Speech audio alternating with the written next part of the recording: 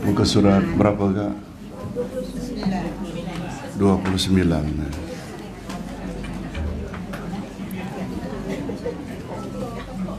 Bismillah, Alhamdulillah Wassalatu wassalam ala rasulillahi amma ba'd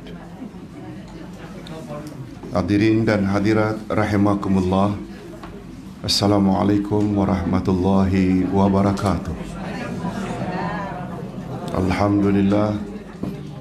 Kita bersyukur kehadirat Allah Azza wa Jalla. Berkat taufiknya kita dapat meneruskan, meneruskan majlis ilmu kita dengan ke arah memahami Al-Quran dan Al-Hadis. Pelajaran 123 Giliran ayat Al-Quran di bawah tajuk Kebencian kufar terhadap Muslim Kufar sama dengan kafirun Orang-orang kafir.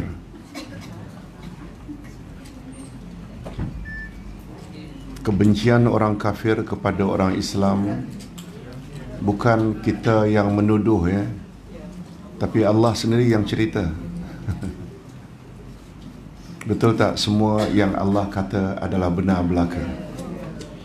Untuk itu marilah kita baca dulu ayat 120 120 121 dari surat Al-Baqarah أعوذ بالله من الشيطان الرجيم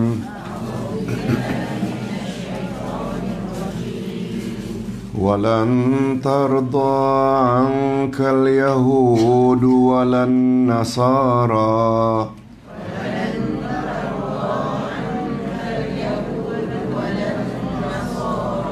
حتى تتبع ملتهم.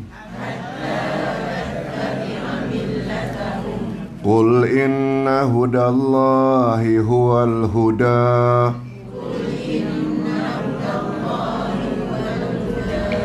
ولئن اتبعت أهواءهم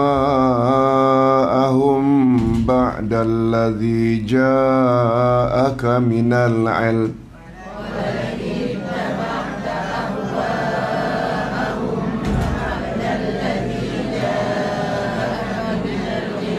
ما لك من الله من ولي ولا نصير.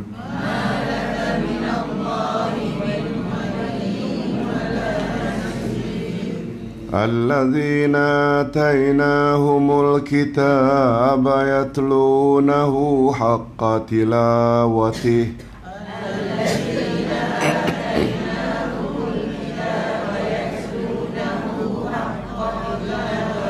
أولئك يؤمنون به.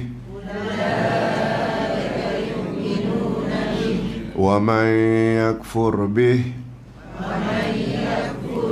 ومن يكفر به فأولئك هم الخاسرون.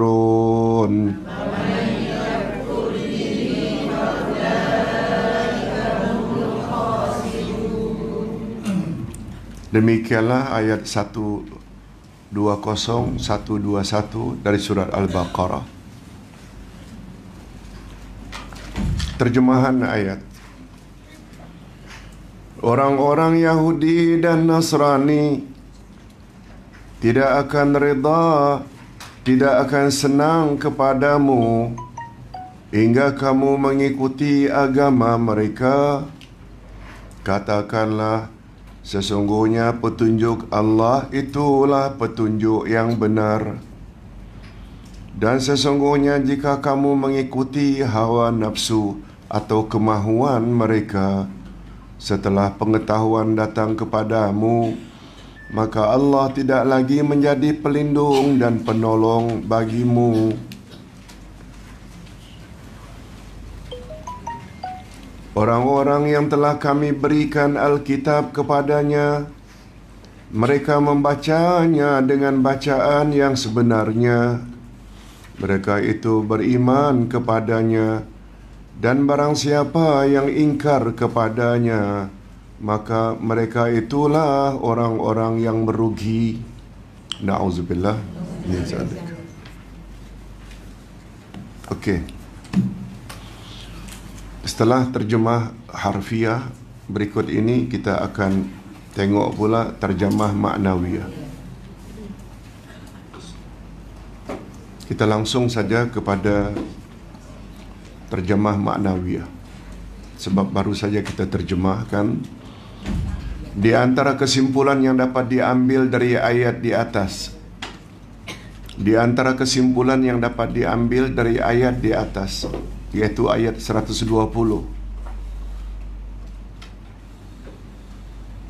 yaitu orang-orang Yahudi dan Nasrani tidak akan reda dan senang kepada kamu hingga kamu mengikuti agama mereka pertama sekali pengajaran yang dapat kita ambil kebencian abadi ahli kitab. Apa makna abadi? Selama-lamanya. Selama-lamanya. Yahudi dan Nasrani atau Kristian sekali-kali tidak akan merasa reda kepada Nabi Muhammad sallallahu alaihi wasallam dan ajaran Islam yang dibawanya. Kebencian mereka terhadap Islam bersifat abadi dari mana kita dapat tahu sifat kebencian mereka itu abadi selama-lamanya? Karena Allah Subhanahu Wa Taala menggunakan ungkapan lantarda. Jadi bagus juga kita tahu sedikit sebanyak bahasa Arab. Bahasa Arab menidakkan, menafikan ada macam-macam cara Kadang-kadang la, kadang-kadang ma, kadang-kadang lama, kadang-kadang laisa, kadang-kadang lam. Penafian yang paling tinggi adalah lam. Karena Allah SWT menggunakan istilah lantarda, tidak akan reda. Faedah huruf lan faedah huruf nafi lam adalah abadi. Disebabnya dalam kaedah bahasa Arab, lam dipanggil, tolong ikuti, harfun nafi lil abad. Maknanya huruf nafi untuk menyatakan abadi selama-lamanya.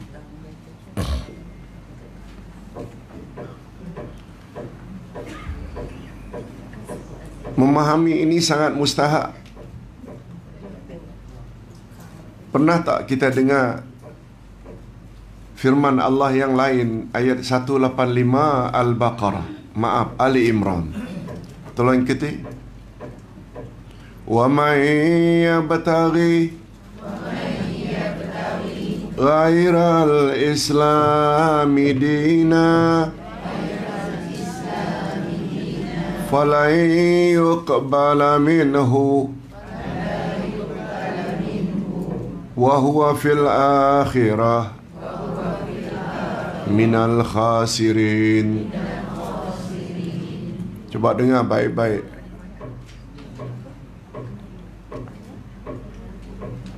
Barang siapa yang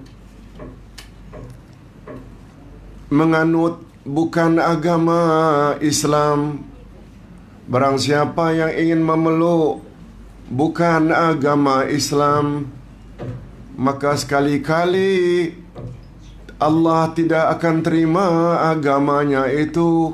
Allah gunakan lam. Falan yuqbala minhu. Allah tidak akan kabul. Allah tak akan terima agamanya itu.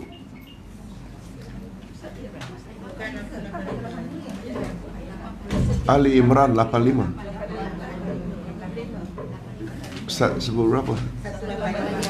Oh tidak, 85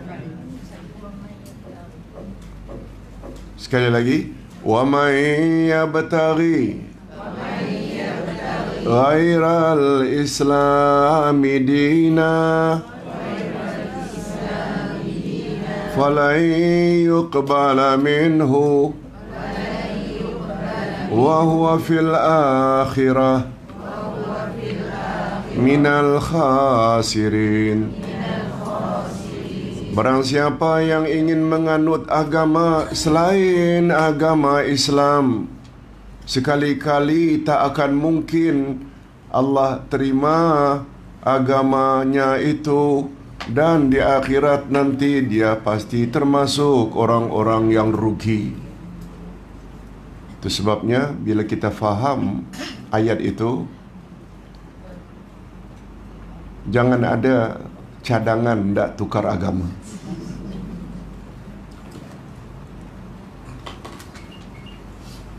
Sebab ayat 19 pula menyebut Inna dina indallahil Islam. Sesungguhnya agama di sisi Allah hanya kita berdoa mudah-mudahan kita semua sampai mati dalam agama Islam.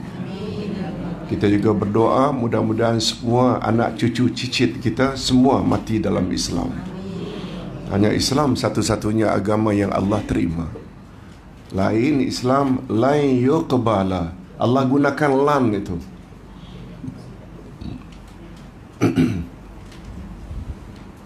Satu lagi Ustaz tambah dengan hadis Nabi. Tolong ikuti. Taraktu fikum amraini in amsaktum bihima lan tadillu abada Al-Quran wa sunnati. Aku tinggalkan dua perkara untuk kamu wahai umat. Selagi kamu berpegang teguh kepada kedua-duanya Kamu tidak akan mungkin sesat selama-lamanya. Iaitu Quran dan Sunnah. Bila kita faham Macam mana kita hendak Jauhkan diri dari Quran dan Sunnah? Betul tak? Dalam hidup Terutama dalam berhidup beragama Betul tak? Kita mesti merujuk pada Quran dan Sunnah Bila yang jadi rujukan Bukan Quran dan Sunnah Ada tak kemungkinan kita terdedah dengan kesesatan? Itu faedahnya memahami bahasa Arab Okey, kita kembali kepada sikap Yahudi dan Nasrani. Allah menggunakan walan tarda. Sekali-kali tidak akan mungkin Yahudi dan Nasrani reda kepadamu, hai Muhammad.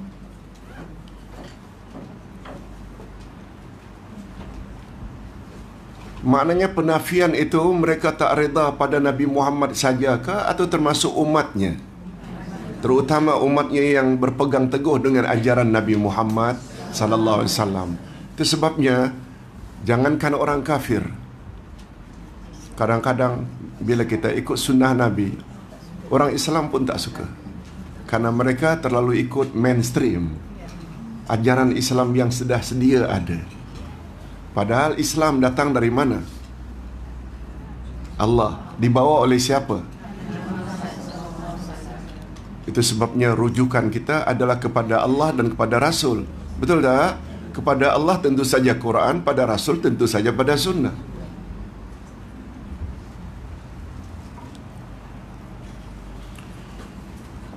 Kufar yakni orang-orang kafir terbagi dua Iaitu ahli kitab dan musyrikin Catat di sampingnya Surat Al-Bayyinah ayat 1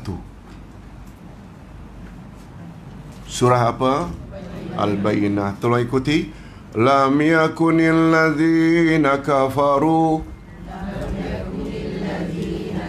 Min ahlil kitab wal musyrikin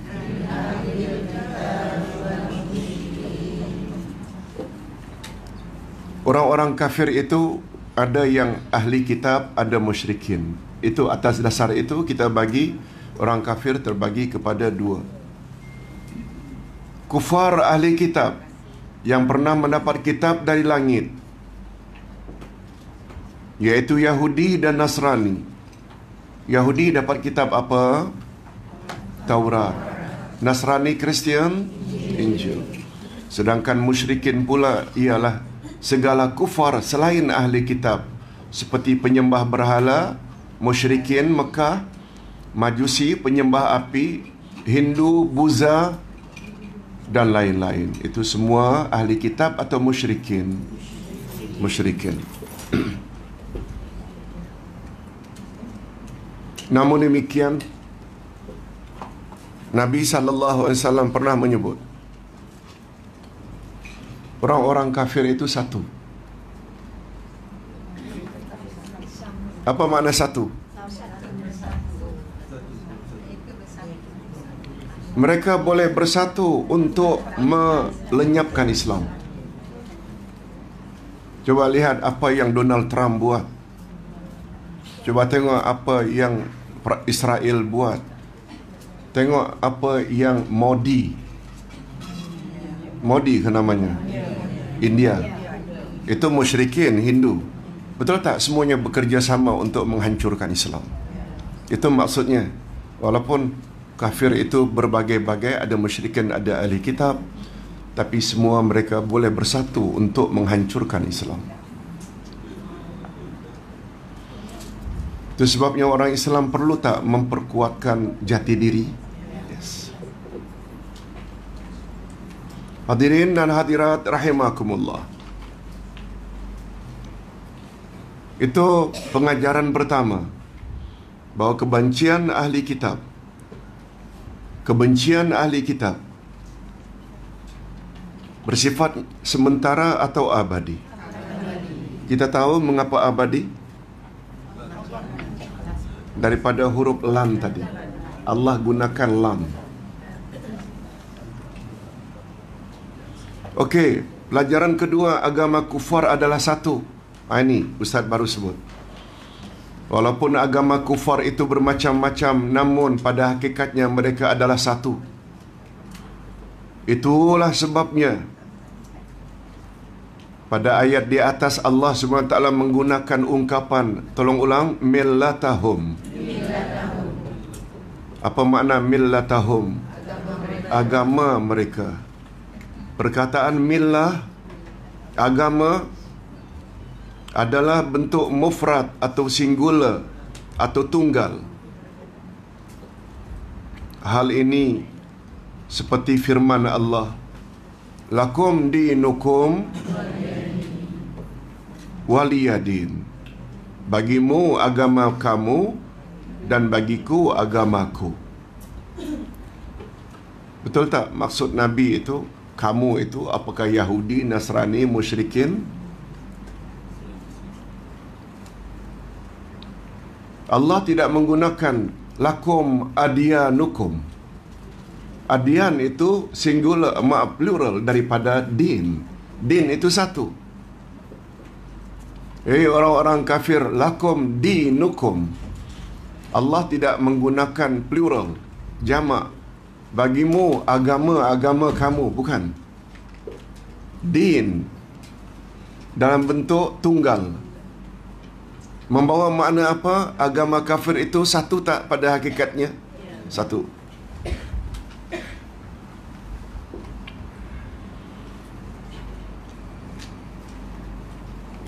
Di sini Allah SWT menggunakan din, agama juga dalam bentuk singular.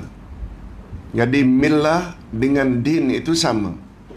Atas dasar itu pula lah maka kafir tidak diboleh tidak dibolehkan mewarisi harta orang Islam. Rasulullah sallallahu alaihi wasallam bersabda, tolong ikuti, la yatawa rasu ahlu millatain tidak boleh saling mewarisi penganut dua agama maksud dua agama ni yang satu agama Islam dan yang satu lagi agama kafir tak kiralah kafir apapun asalkan bukan Islam saja tak layak Hadis riwayat Abu Dawud, Tarmizi, Ibnu Majah Ad-Darami dan Ahmad Ibnu Hanbal. Lihat tafsir Ibnu Kasir jilid 1 muka surat 174. Itu keterangan dari Ibnu Kasir. Sekali lagi, yang kedua agama kufar itu adalah satu. Bukti-bukti telah kita sebut.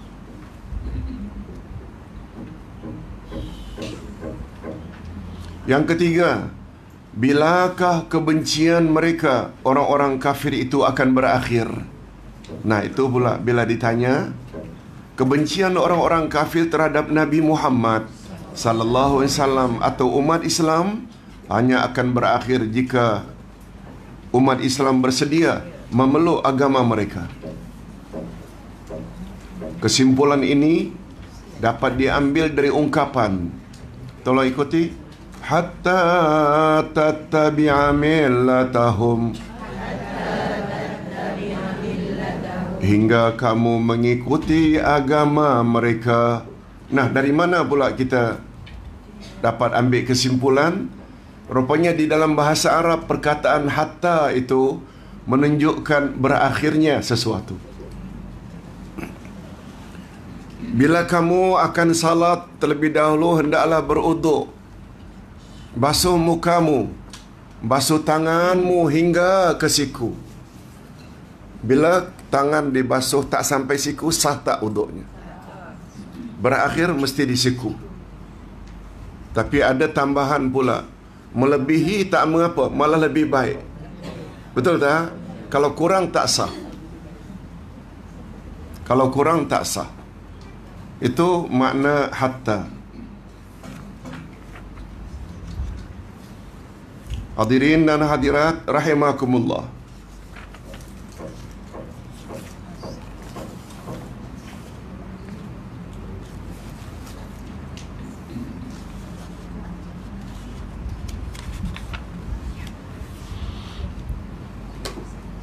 Bila ditanya mengapa mereka baru berakhir kebenciannya terhadap kita karena ada kata-kata ulang sekali lagi hatta tattabi'amil latahum hingga atau sehingga kamu mengikuti agama mereka. Sebab faedah huruf hatta tolong ikuti harfun lil ghayah huruf untuk menyatakan berakhirnya sesuatu.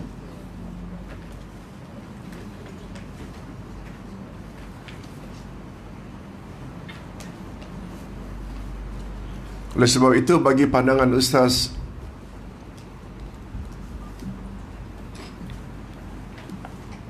Mereka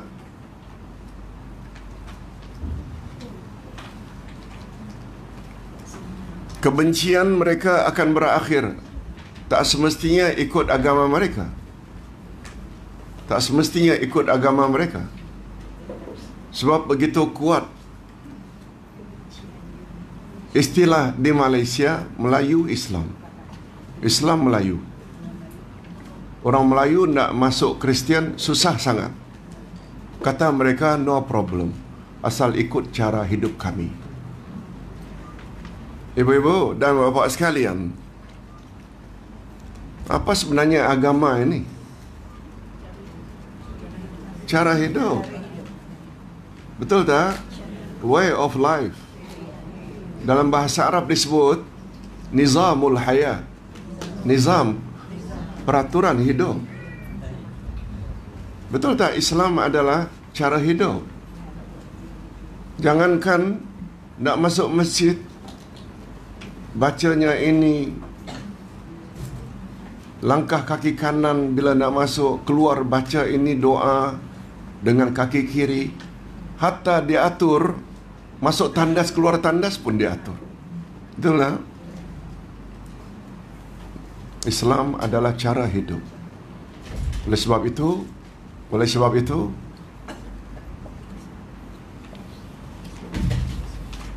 bila makan, minum, tangan kiri.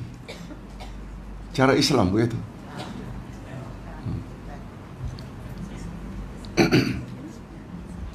Dulu-dulu setahu ustaz, dulu-dulu khasnya di kalangan askar-askar kita. Betul tak? Kalau makan betul tak? Cara British. Pisau di tangan kanan, garpu di tangan kiri, potong. Betul tak? Dulu-dulu, dulu-dulu. Sekarang dah jauh berubah, dah jauh berubah lebih baik karena dah tahu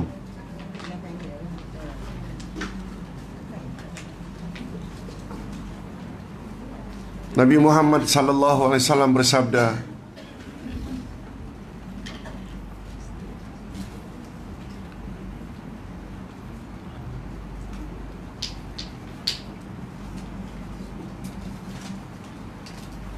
Makanlah, minumlah dengan tangan kanan. Tolong ikut tu. Kulu washrabu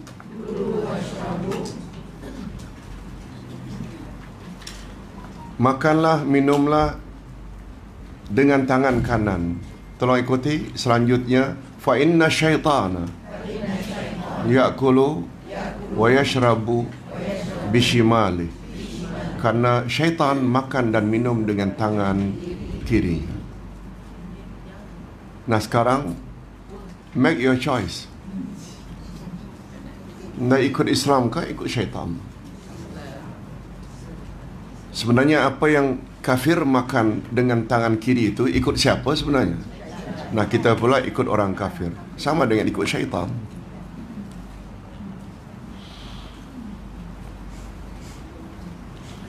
Jika kaedah bahasa tersebut diguna pakai maka kebencian Yahudi dan Nasrani barulah akan berakhir jika Nabi Muhammad sallallahu alaihi wasallam atau pengikutnya bersedia mengikut agama mereka atau murtad. Nauzubillah min zalik. Oleh itu, selagi umat Islam menolak agama mereka atau enggan memasuki agama mereka, maka selama itu pula lah kebencian akan terus membara di dalam hati sanubari mereka.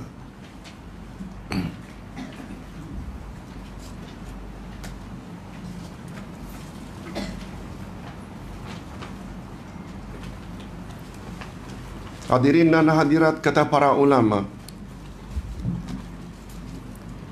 ketika mengulas firman Allah kadang-kadang orang kafir bersikap baik pada kamu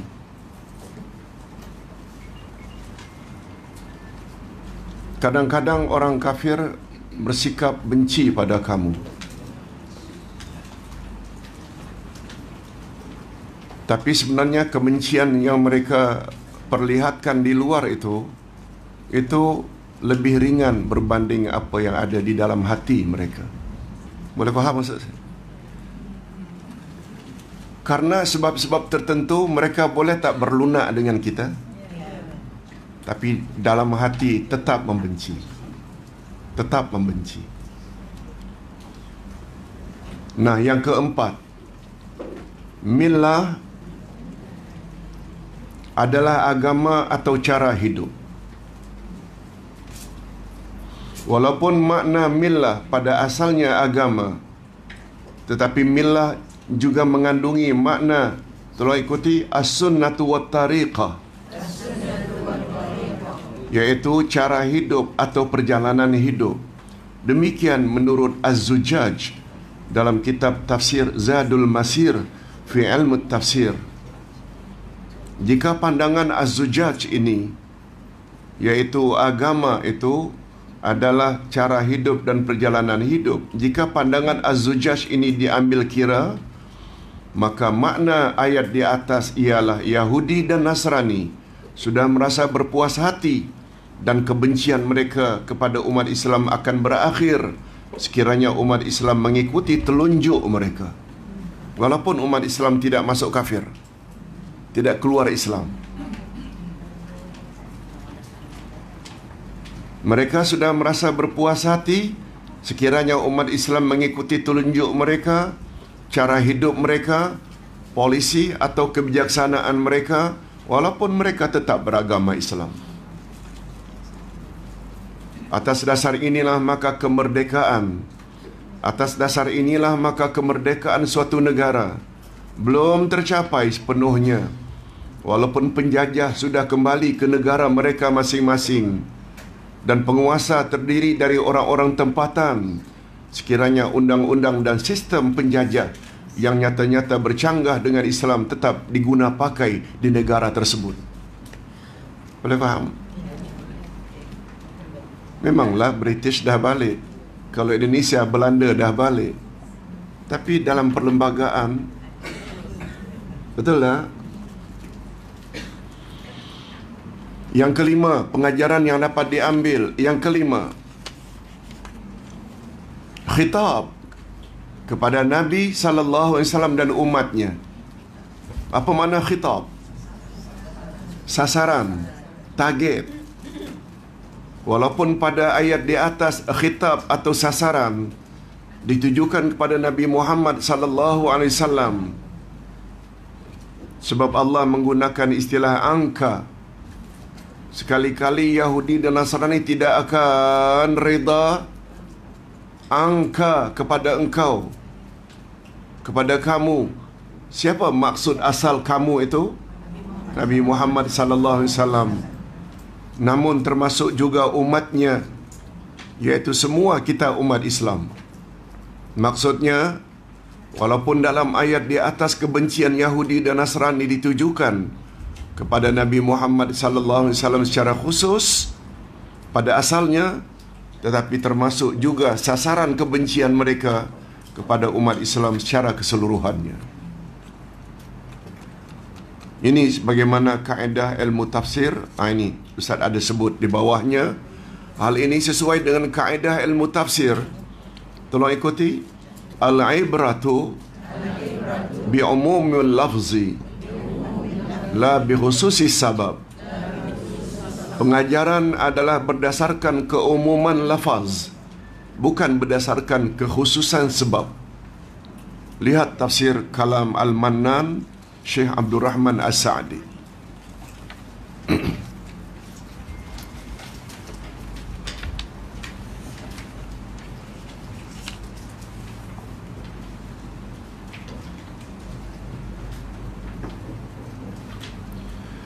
Pengajaran yang keenam yang kita dapat ambil dari ayat 120 petunjuk yang benar. Betul tak semua kita menginginkan petunjuk yang benar? Nabi Muhammad sallallahu alaihi wasallam disuruh oleh Allah dalam ayat tersebut baginda disuruh oleh Allah agar mengatakan kepada orang-orang kafir khususnya Yahudi dan Nasrani Sesungguhnya petunjuk Allah itulah petunjuk yang benar. Yang dimaksudkan dengan hudallah. Apa makna hudallah? Petunjuk Allah. Yang dibawa oleh Nabi Muhammad sallallahu alaihi wasallam di dalam ayat ini ialah tolong ikuti huwa dinul mustaqimus sahih al-kamilus syamil yang dimaksudkan agama atau petunjuk yang benar itu adalah agama yang lurus, benar, sempurna dan menyeluruh yaitu agama Islam. Sedangkan agama Yahudi dan Nasrani pula adalah al-hawa. Apa makna hawa? Hawa nafsu.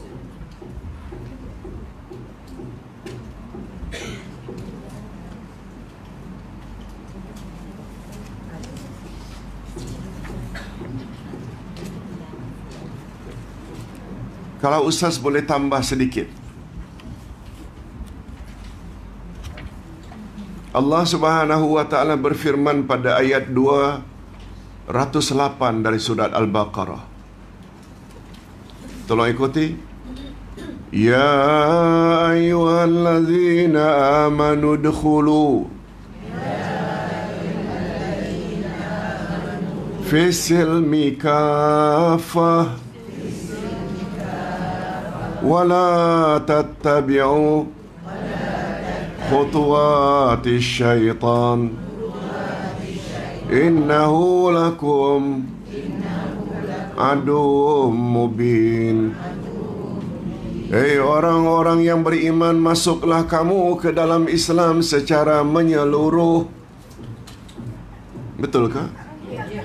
208 Hei orang-orang beriman, masuklah kamu ke dalam Islam secara menyeluruh dan janganlah kamu ikuti langkah-langkah syaitan. Sesungguhnya syaitan itu bagi kamu adalah musuh yang nyata-nyata. Dalam ayat itu arahan Allah supaya masuk Islam secara keseluruhan. Membawa makna apa secara tersirat? Jangan masuk Islam setengah-setengah. Itu maksudnya. Salat cara Islam, puasa cara Islam, haji cara Islam, cara makan tidak Islamik. Cara mengatur rumah tidak Islamik, cara berpakaian tidak Islamik. Maknanya Islamnya setengah. Kata Said Qutub dalam kitabnya yang terkenal Fi Zilalil Quran, tafsir di bawah naungan Al-Quran. Kata beliau, berdasarkan ayat itu, sebenarnya di depan kita orang beriman, jalan ada dua saja. Apa dia dua jalan itu?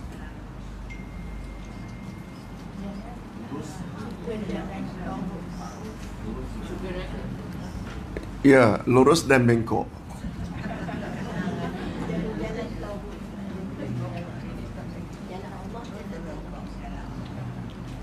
Jalan Allah, jalan syaitan. Dari mana kita dapat ambil kesimpulan itu? Cuba dengar sekali lagi penjelasan atau terjemahan ayat. Hei orang-orang Islam, maaf, hei orang-orang yang beriman, masuklah kamu ke dalam Islam secara menyeluruh. Jangan kamu ikut langkah-langkah syaitan. Maknanya, satu jalan Allah, jalan Islam, satu lagi jalan syaitan.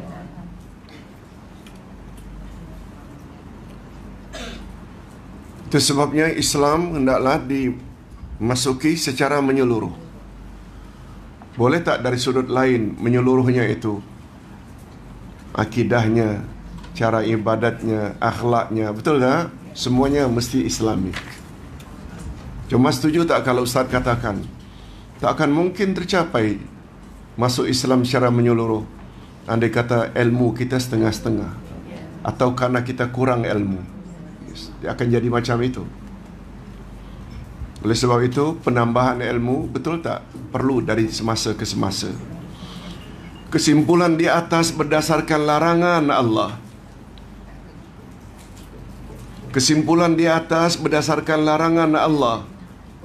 Pada lanjutan ayat, tolong ikuti. Wala ini taba'ta ahwa'ahum.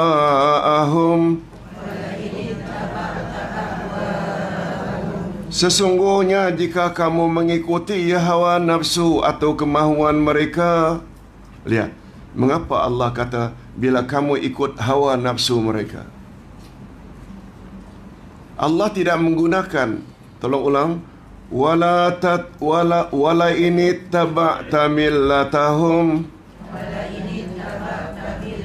Dan jika kamu mengikuti agama mereka Allah tak gunakan millatahum tapi Allah gunakan ahwa'ahum, hawa nafsu mereka. Betul tak? Orang Yahudi dan Nasrani sebenarnya agama mereka hawa nafsu. Betul tak mereka telah robah-robah Taurat dan Injil? Nabi Isa pernah tak declare bahawa dia anak Tuhan? Nabi Isa suruh tak agar umatnya menyembah dirinya dan ibunya Maryam? Semua Nabi suruh sembah Allah. Tapi mereka telah reka-reka. Itu sebabnya Allah tak guna istilah wala ini taba'ta millatahum. Jika kamu ikut agama mereka bukan. Tapi jika kamu ikut hawa nafsu mereka. Sebab agama mereka dibina di atas hawa nafsu. Itu sebabnya kita umat Islam itu sebabnya kita umat Islam bila kita bertelingkah pendapat dalam satu-satu perkara sesama kita disuruh kembali ke mana kepada Allah dan Rasul kepada Allah maknanya pada pada Rasul maknanya walaupun pada ayat sebelumnya disebut hei orang-orang beriman taatlah Allah taatlah Rasul dan ulil amri tapi apabila kamu bertingkah pendapat kembalikanlah perkara yang dia pertelingkahkan itu kepada Allah dan Rasul. Ulil amri dah tak dibawa-bawa lagi. Kita bimbang dia akan menjurus kepada hawa nafsu. Ada tak setengah-setengah ulama ke kiai ke tuan guru ke dia lebih kepada ikut diri dia? Yes. Ada.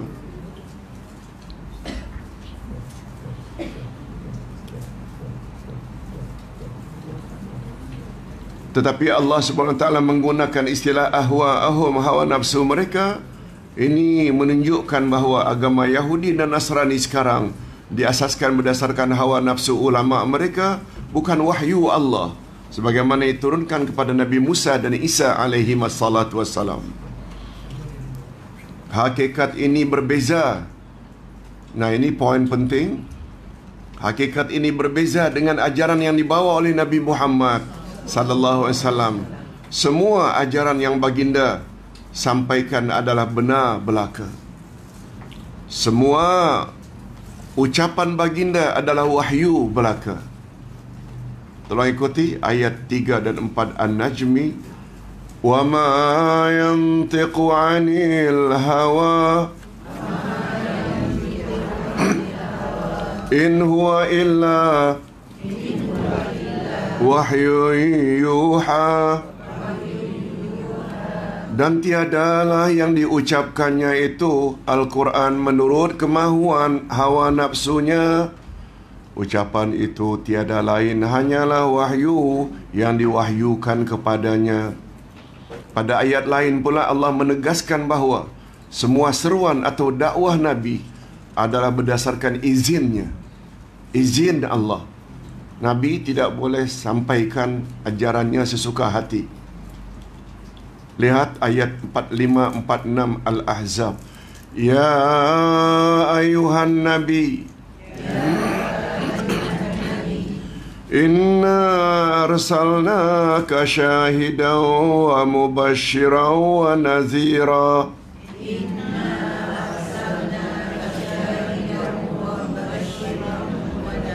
وداعيا إلى الله بإذنه وسراجا منيرا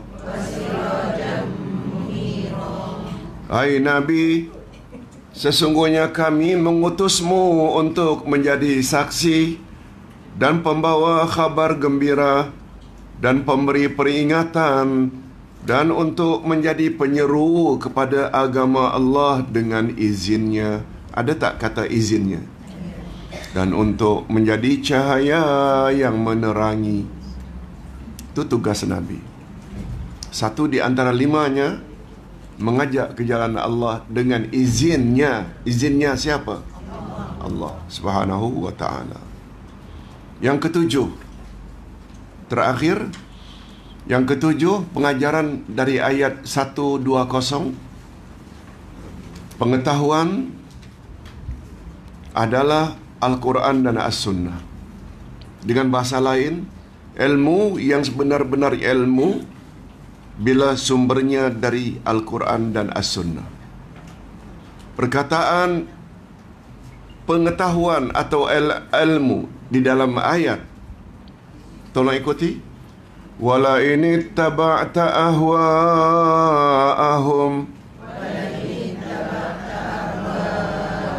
Ba'da alladhi ja'aka minal ilm.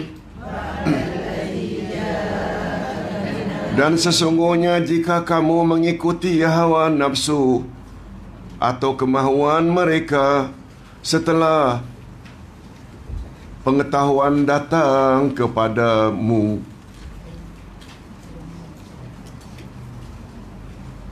Setelah datang kepadamu ilmu, ilmu di sini apa maksudnya? Al-Quran dan Sunnah. bukan ilmu yang kita terima dari Pak Kiai. Alim ulama. Betul lah melalui mereka. Tapi sebenarnya yang kita patut ikut itu dalil yang mereka gunakan. Ibu-ibu bapa-bapa perasan tak ustaz bila mengajar ustaz tak mau ibu-ibu bapa-bapa ikut ustaz tapi ikutlah ayat Quran dan hadis Nabi yang Ustaz sampaikan. Betul tak? Perasan tak? Ustaz tak mau ta'asub Ustaz. Mungkin ada orang yang macam begitu. Tak betul. Itu sebabnya kata Imam Ash-Syafi'i, aku tidak reda orang ikut aku setelah aku meninggal dunia. Sebab apabila ternyata ada pandangan yang lebih kuat dari pandanganku, ikut pandangan yang lebih kuat. Sampai begitu. Itu sebabnya keempat-empat imam mazhab berkata,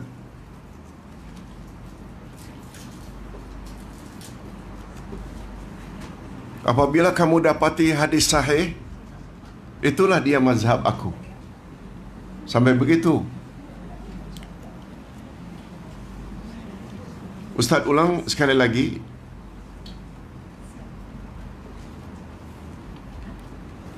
Apabila kamu ikut hawa nafsu mereka setelah datang kepadamu ilmu, ilmu maksudnya apa?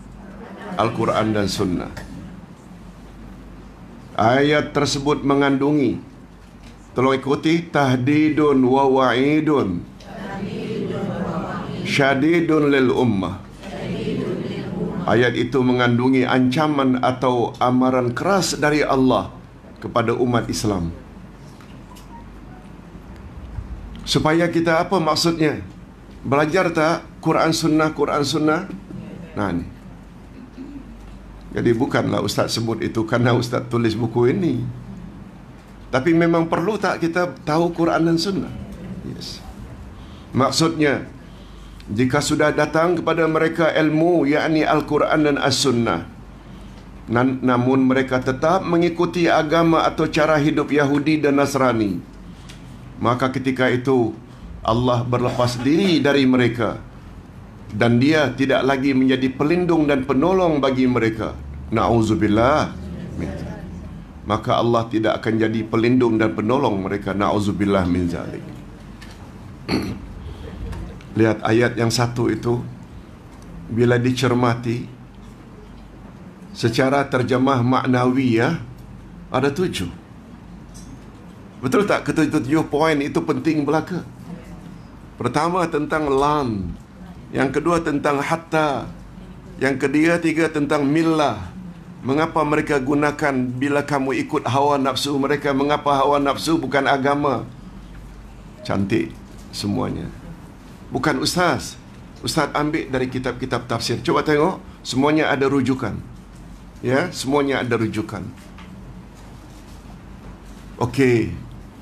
Nah, sekarang kita sambung dengan ayat yang satu lagi. Tolong lihat muka surat 29 kita baca sekali lagi. Alladzina atainahumul kitab.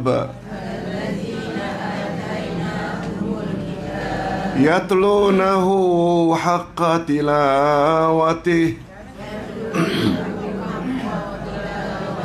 أولئك يؤمنون به. ومن يكفر به فأولئك هم الخاسرون.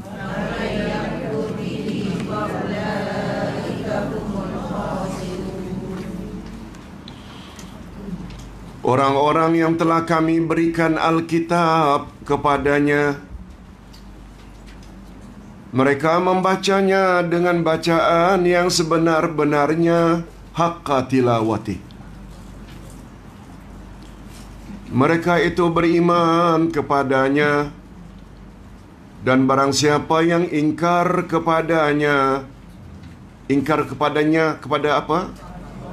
Pada kitab bukan Quran di sini ini menceritakan orang ahli kitab betul tak orang Yahudi dapat Taurat Nasrani dapat Injil bila ada di antara mereka baca kitab itu sebenar-benar bacaan Lalu mereka itu beriman kepadanya.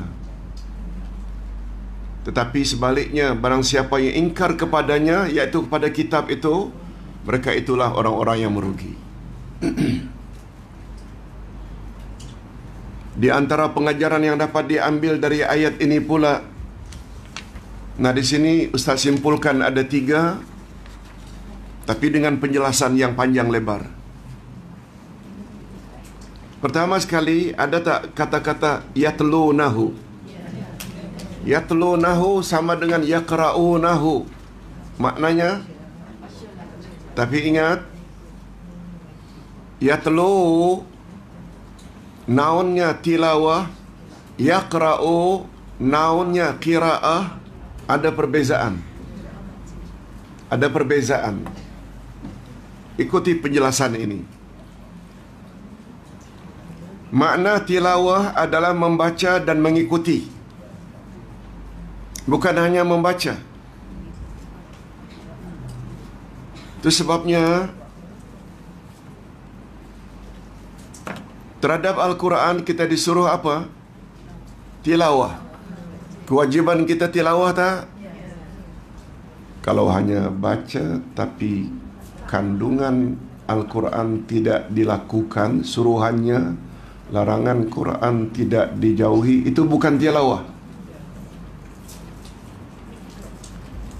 Besar kemungkinan ayat Quran tidak akan diikuti. Apa sebab? Karena apa yang dibaca tak difahami. Itu sebabnya masih ingat tak kewajiban kita umat Islam terhadap Al-Quran ada berapa? Pertama, al-imanu bihi, iman. Yang kedua, tilawah, baca. Baru yang ketiga, fahmu bihi. Yang keempat, al-amalu bihi, mengamalkan. Yang kelima, sebar-sebarkan. Okey, coba dengar penjelasan. Orang-orang yang telah kami berikan Alkitab kepada mereka, siapakah golongan ini? Ada yang berpendapat Yahudi dan Nasrani. Pendapat yang lain pula para sahabat. Para sahabat tentu saja maksud kitab itu Al-Quran. Betul tak? Adapun ungkapan yatunahu haqqa tilawati. Mereka membacanya dengan bacaan yang sebenar-benarnya. Para mufassirin, apa makna mufassirin? Ulama tafsir berpendapat ungkapan ini mengandungi beberapa makna antaranya.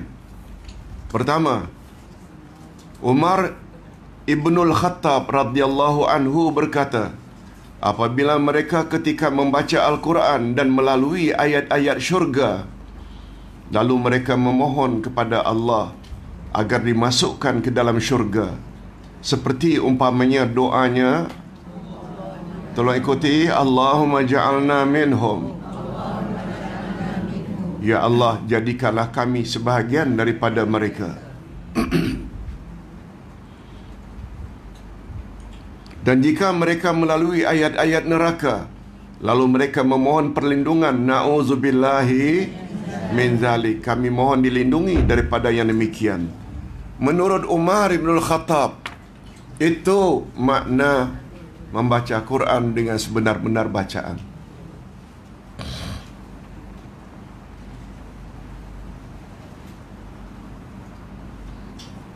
Hadirin dan hadirat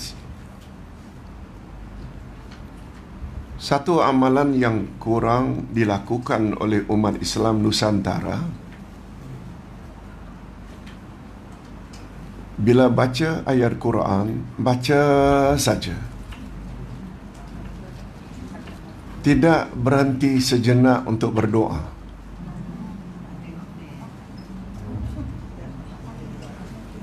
Contohlah Inna fi khalqis samawati wal ardi wa ikhtilafil laili wan nahari la ayatin li ulil albab.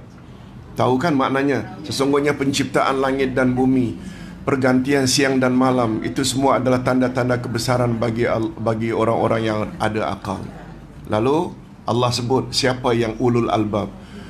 الذين يذكرون الله قياما وقعودا وعلى جنوبهم ويتفكرون في خلق السماوات والأرض ربنا ما خلقت هذا باطلا سبحانك فقنا عذاب النار Ulul albab itu ialah orang-orang yang ingat pada Allah tak kira sedang berdiri atau duduk atau baring. Mereka selalu berfikir akan kebesaran Allah sambil berdoa, Oh Tuhan, Janganlah kamu Rabbana Apa sambungannya? Ma khalaqta hadza batila Oh Tuhan Tidak ada satu pun yang kau ciptakan ini Sia-sia belaka. Hindarkan kami ya Allah daripada azab api neraka. Ada doa tak? Boleh kita katakan di situ amin. Betul tak? Atau boleh juga Allah maja'alna minhum. Masukkanlah kami ke dalam golongan ulul albab ini. I- Itu maksudnya.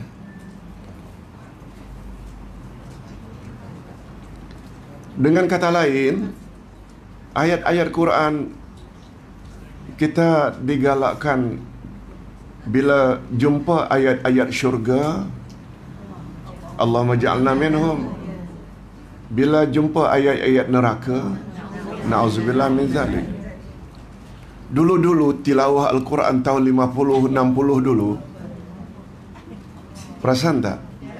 Kita lalui zaman-zaman itu Tahun 70-an lah Bila misabaqah tilatul Quran Orang itu sedap bacaannya. Allah Allah. Kadang-kadang dengan siulan lagi. Padahal Karik membaca Walahu ma'azabun alim. Su Adakah ada tak kaitannya karena tak faham? Tu sebenarnya. Tapi sekarang sudah lebih bagus. Betul tak? Lengkap dengan terjemahannya, lengkap dengan ulasannya. Kita cerita yang tahun 70-an dulu.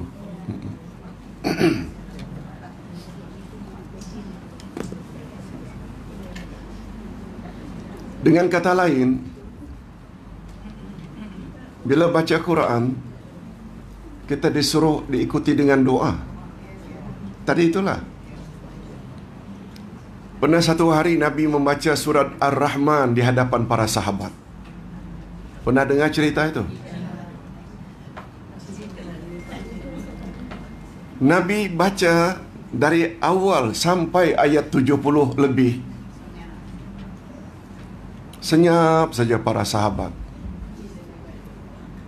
Padahal surat Ar-Rahman betul tak setengah daripadanya ayat yang sama. Fa bi ayyi ala'i rabbikuma tukadziban. Terhadap nikmat Tuhanmu yang mana lagi yang kamu akan dustakan? Pertanyaan. Sahabat dia membisu sampai berakhir. Apa kata Nabi? Aku pernah membaca surah Ar-Rahman ini di hadapan masyarakat jin. Wallahi demi Allah, jin lebih baik dari kamu. Jin lebih baik dari kamu. Para sahabat pun terpinga-pinga. Ada jin lebih baik dari kami. Begitu ditanya, tidak aku baca fabi ayyi ala rabbikuma tukadziban melainkan mereka semua respon la syai'a min ni'amika nukadzib falakal hamdu tidak ada satu pun nikmatmu yang kami dustakan ya Allah bagimu segala puji-pujian itu jin. Yang kamu ni diam apa pasal? Kita pula sampai sebut ada tak dari pandangan orang-orang kita ada tak yang mengatakan sejahat-jahat manusia itulah jin yang paling baik. Pernah dengar tak? Pernah dengar istilah itu? Dia tidak pojokkan dia tidak maknanya benci sangat pada jin ini kalau tengok manusia jahat macam mana pun paling jahat itulah sebaik-baik jin Nabi pula cakap depan sahabat. Betul tak sahabat adalah sebaik-baik insan? Wallahi jin lebih baik dari kamu. Inilah bila pemahaman itu tidak berpaksi pada Quran dan Sunnah. Betul tak? Malah ada tak mengatakan bahawa iblis itu dari malaikat? Bercanggah tak dengan statement Al-Quran? Baik, kita teruskan. Ah, ya. Ustaz pernah tulis. Lupa ya.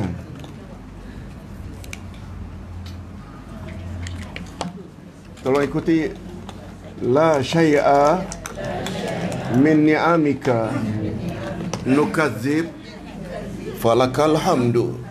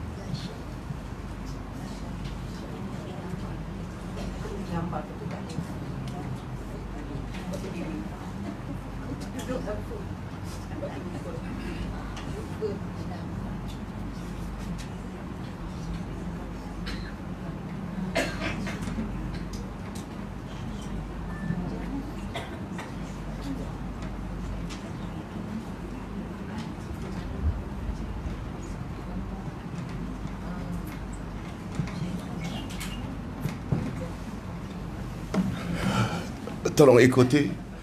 فبأي آلاء ربكما تكذبان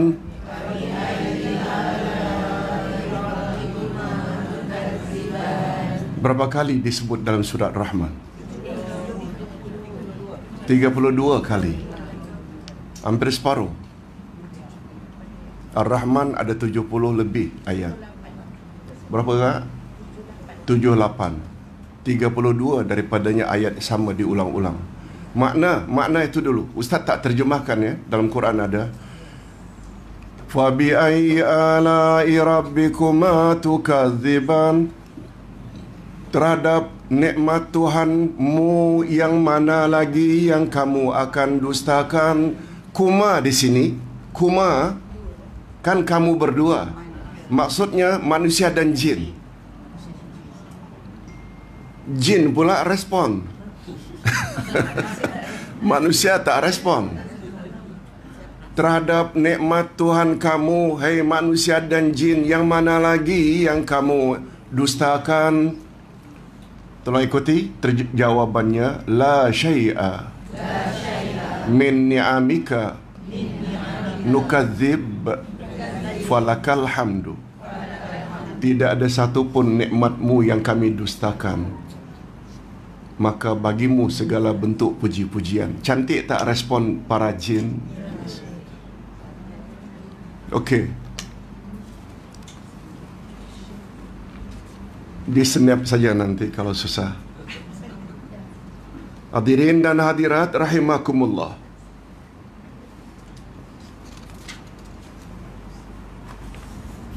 Apa sambungan Ustaz? Yang kedua, betul. Ini pembahasan tentang yatlu nahu haqqa tilawati. Menurut Umar tadi apa?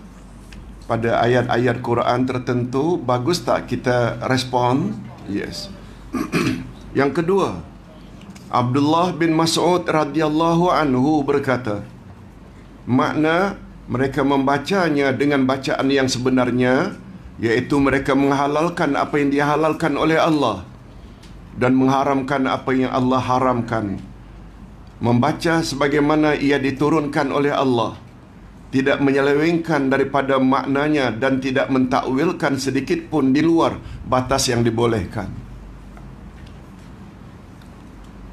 Jadi apa yang Allah halalkan dalam Quran kita halalkan. Apa yang Allah haramkan termasuk tak yang Allah haramkan daging khinzir, bangkai darah. Yes.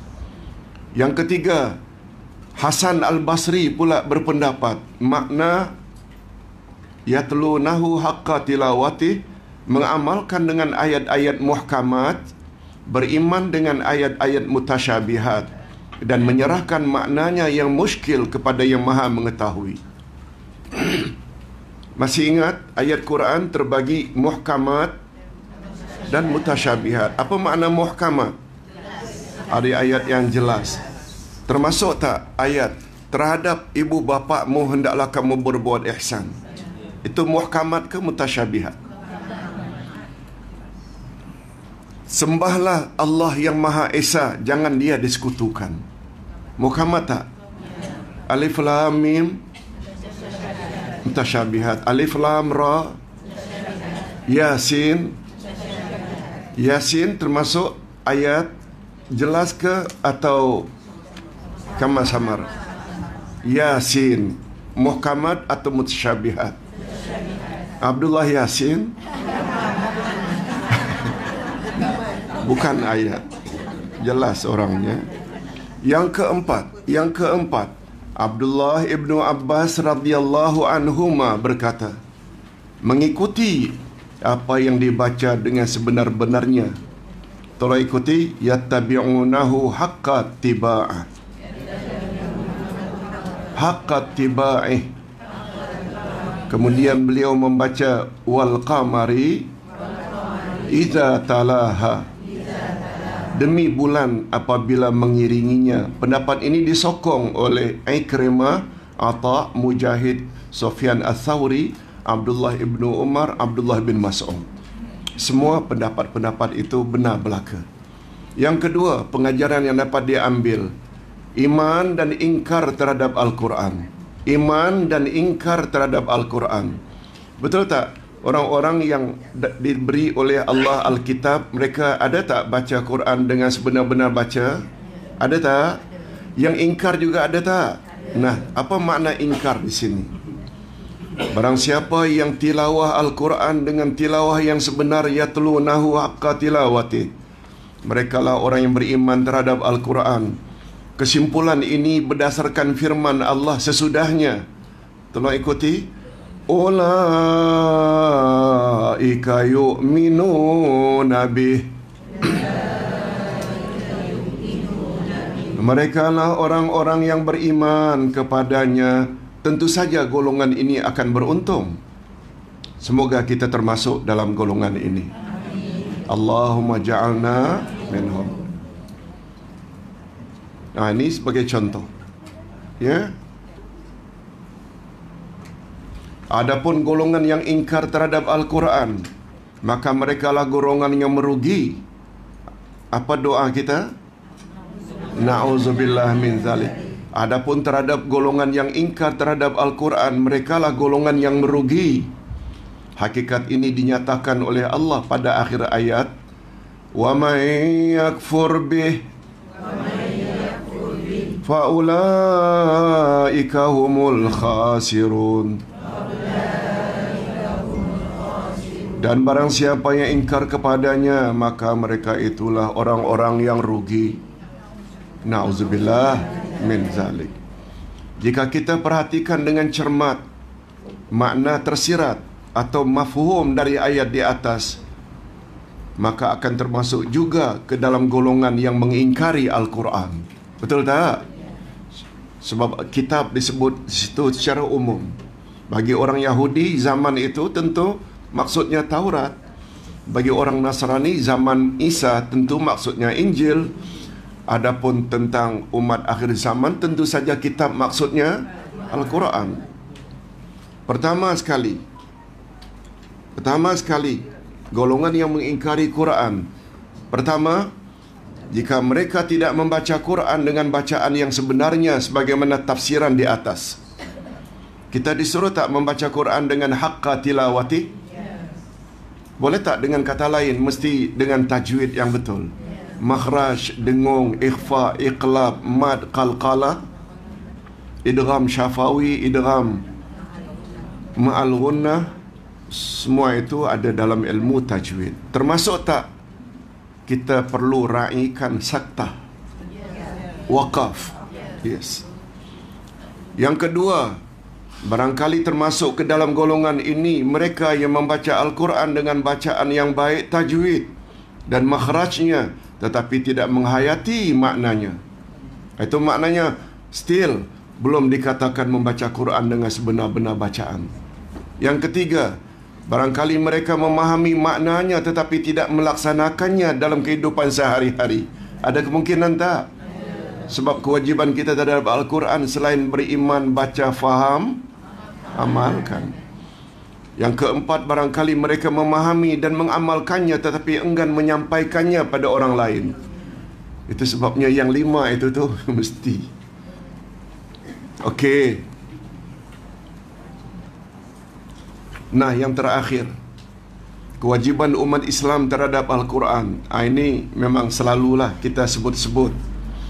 Dr. Ahmad Asrar di dalam kitabnya, tolong ulang, Mada yajibu alal muslimin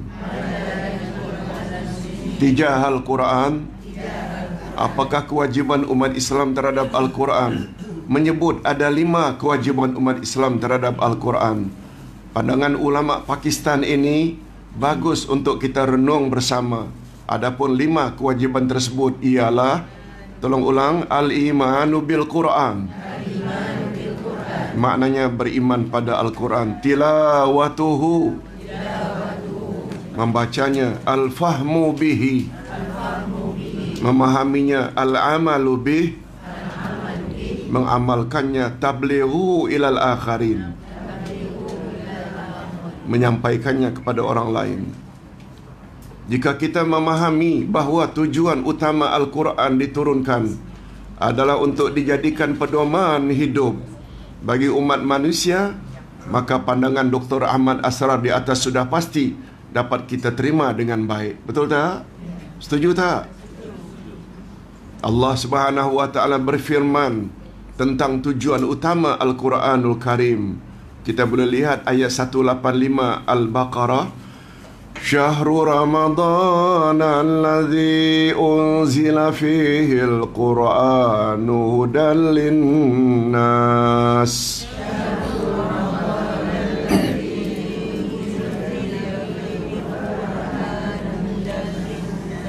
Bulan Ramadan bulan yang di dalamnya diturunkan permulaan Al-Quran sebagai petunjuk bagi umat manusia.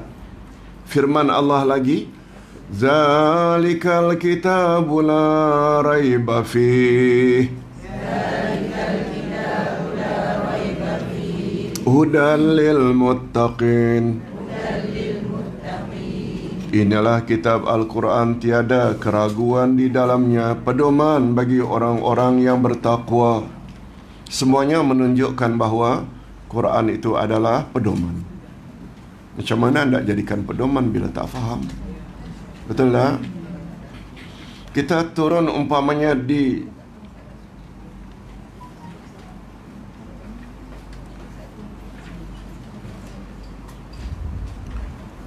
De Gaulle, De Gaulle, De Gaulle Airport, Perancis. De Gaulle, De Gaulle, De Gaulle Airport. Anda tertulis bahawa ini adalah panduan untuk berada di kota Paris. Kita ambil. Tapi sayangnya penerangannya bahasa Perancis. Kita baca Selamat tak kita daripada kesesatan bila kita tak faham? Faham itu mustahak tak? Untuk memandu kita ke mana patut pergi.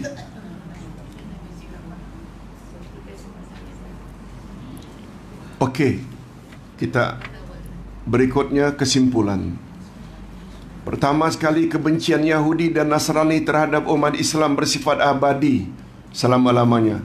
Masih ingat tadi faedah huruf lam? Kebencian mereka hanya akan berakhir jika umat Islam mengikuti agama atau cara hidup mereka. Itu pula ada pada hatta. Yang kedua, agama kufar, yakni orang-orang kafir adalah satu. Walaupun dalam realitinya bermacam ragam. Oleh sebab itu, kufar tidak boleh mewarisi harta pusaka orang Islam tanpa mengira apapun agama kufar yang mereka anuti. Agama Yahudi dan Nasrani yang wujud setelah kedatangan Nabi Muhammad sallallahu alaihi wasallam adalah berasaskan wahyu ke hawa nafsu. Hawa nafsu. Hakikat ini berbeza dengan Islam yang dibawa oleh Nabi Muhammad sallallahu alaihi wasallam yang semuanya berasaskan wahyu ilahi. Yang keempat menangkis serangan atau pengaruh syaitan jin atau syaitan insan yang paling berkesan adalah dengan ilmu pengetahuan. Dalam hal ini, ilmu yang paling baik untuk tujuan itu ialah ilmu pengetahuan tentang Al-Quran dan Al-Hadis. Kesebabnya Allah berfirman dalam surat Al-Baqarah, kalau tidak salah ayat 269 dari surat Al-Baqarah. Tolong ikuti. ومن يؤتى الحكمة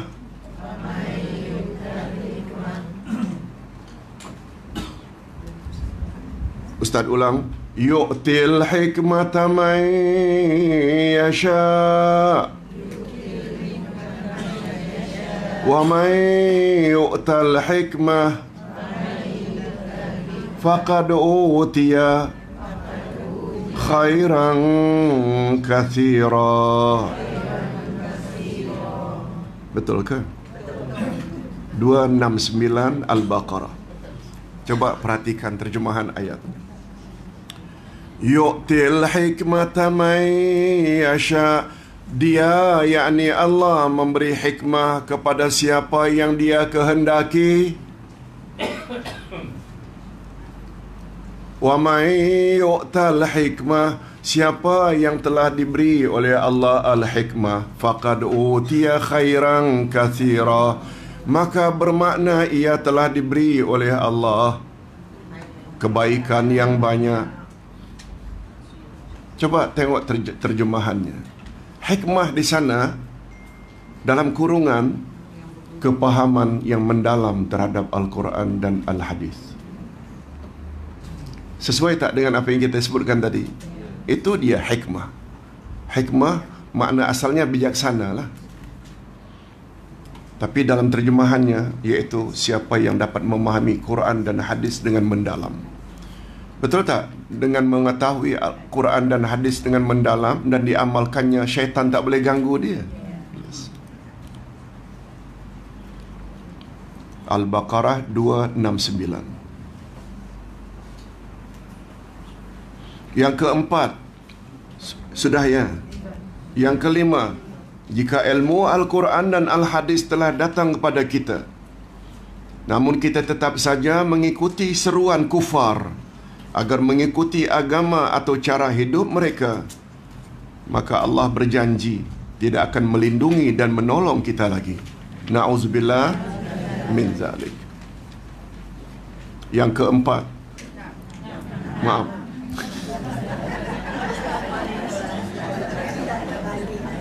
Allahu Akbar.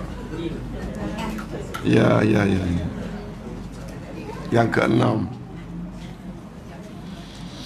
Makna tilawah Al-Quran bukan sekedar membaca Al-Quran. Tapi juga menghayati maknanya, mengikuti ajarannya di dalam kehidupan sehari-hari. Umat Islam yang ingin selamat daripada godaan syaitan mestilah berusaha sekuat tenaga untuk melindungi dirinya dan keluarganya dari murka Allah. Bagaimanakah caranya? Ikutlah panduan di atas agar kita tidak merugi. Terakhir, kita ada masa sedikit, lima minit. Ustaz nak jelaskan perbezaan kiraah dengan tilawah. Apa makna iqra? Apa makna utlu? iqra jadi qiraah, utlu jadi tilawah. Sama maknanya. Utlu maknanya tilawah lah, baca lah. Iqra bacalah juga. Tapi doktor yang sama tadi, Doktor Ahmad Asrar, Ustaz tak sebut di sini. Beliau menjelaskan beza antara qiraah dengan tilawah.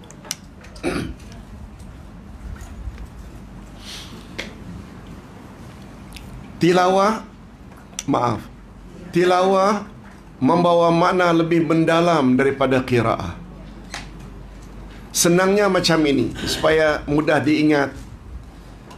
Bila qiraah membaca membaca sesuatu yang membaca ada pilihan sama ada percaya atau tidak percaya. Mau ikut atau tidak mau ikut. Dia ada hak. Termasuk tak baca surat khabar? Ibu-ibu, bapa-bapa baca surat khabar percaya semua ke? Apa namanya itu? Apa namanya itu? Tilawah atau kiraah? Kiraah. Kiraah.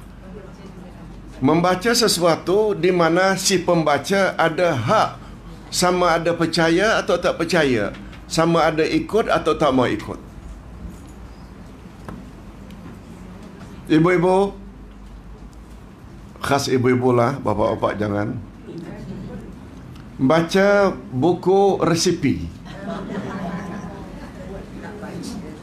Tilawah ke kiraah? Kiraah ke tilawah? Ha? Kiraah. Kita nak buat kek, suami diabetik teruk.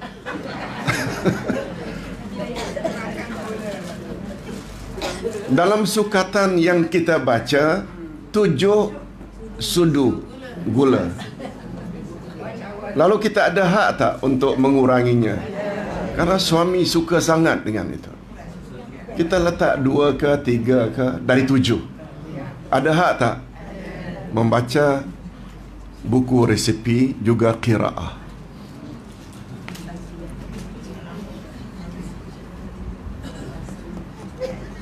Begitu juga membaca West Map